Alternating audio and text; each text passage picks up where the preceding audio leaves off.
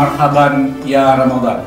Alhamdulillah telah datang kepada kita bulan penuh rahmat dan penuh keberkahan. Direksi bersama seluruh staf dan karyawan-karyawati PT Bank Aceh Syariah mengucapkan selamat menunaikan ibadah puasa 1439 Hijriah. Mari kita manfaatkan Ramadan ini untuk meningkatkan ibadah secara maksimal.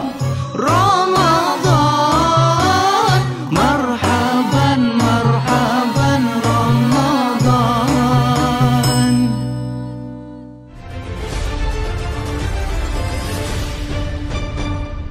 Kawan sari Pak.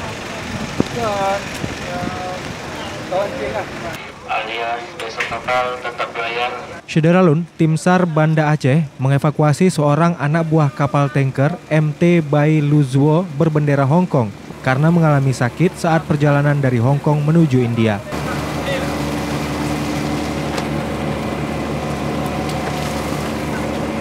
Anak buah kapal bernama Li Yutian, 46 tahun, warga negara Hong Kong ini mengalami sakit di bagian ginjal.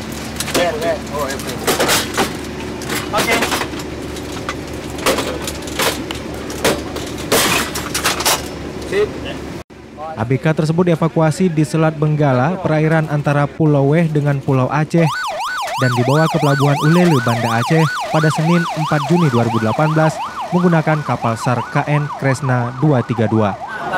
Kalau kami lihat tadi memang dalam kondisi kapal masih ringan sekali. Kemungkinan uh, dari perjalanan Hongkong mau ke India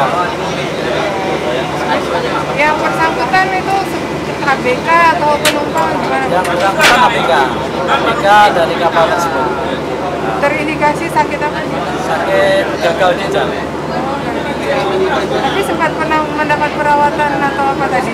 Eh, perawatan secara medis di kapal saja kemudian setelah tim kami memeriksa tidak ada gejala-gejala lain istilahnya tidak ada penyakit yang menular dan sebagainya baru kita eh, bisa mengevakuasi ke sini untuk diteruskan ke rumah sakit. Dari Banda Aceh, Budi Fatria, Serambi On TV.